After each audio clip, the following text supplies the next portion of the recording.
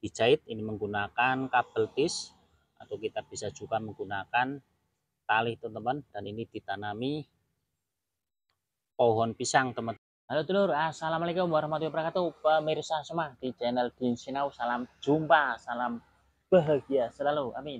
Baik teman, seperti biasa teman izin sharing kembali. Dan di kesempatan video kali ini izin sharing pemanfaatan bekas perabot rumah bak air yang sudah rusak, pecah ataupun bolong daripada kita buang ke tukang lak kita masih bisa untuk dimanfaatkan untuk media pot jumbo teman.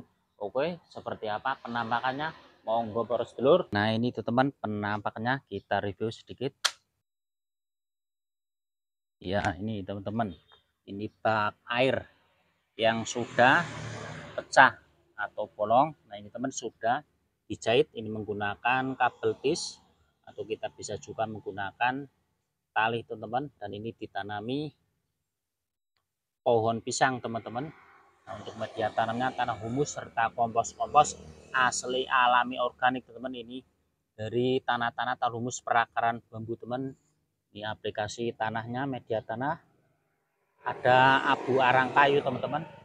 Komplit dan limbah-limbah kulit pisang dan limbah-limbah sampah dapur hasil alami ini bawah baknya sudah dilubangi untuk resapan air. Dan hasil pemanfaatannya. Limbah perabot dapur yang sudah rusak. Oke teman-teman semua terima kasih sudah berkenan menonton sharing kali mudah-mudahan sharing kali walaupun video tidak seberapa mudah-mudahan ada poinnya.